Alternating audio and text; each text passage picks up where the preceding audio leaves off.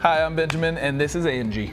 We're with Multnomah ESD Hospital School Program at Unity Center for Behavioral Health.